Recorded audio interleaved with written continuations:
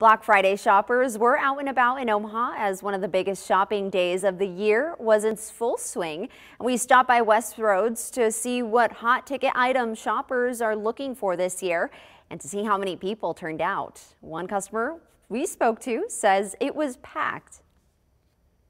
Packed here and just packed in the store. Like hardly any room to walk anywhere in there.